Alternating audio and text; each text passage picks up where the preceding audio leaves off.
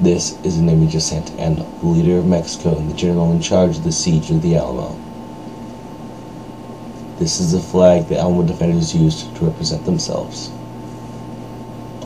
This is missionary the Alamo defenders used. 180 Americans held here, plus Mexican rebels made around 300, 400 soldiers.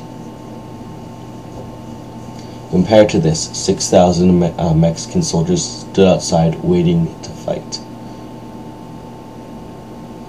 Along the edges of the Alamo, missionary cannons, including an 18 pound, it fired an 18 pound iron cannonball.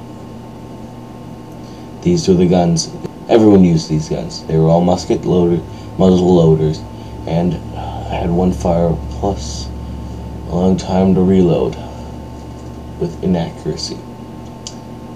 Santa Anna had his uh, 2,000 soldiers move in on the 13th day morning. While inside, Alamo soldiers were just waking up. As his uh, 2,000 soldiers moved in, they uh, surrounded the sides and uh, they had two waves. Three waves if you count the final one that actually breached the walls and killed everyone.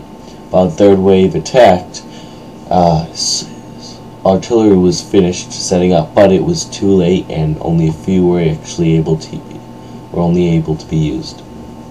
2,000 out of 6,000 soldiers were used in the siege.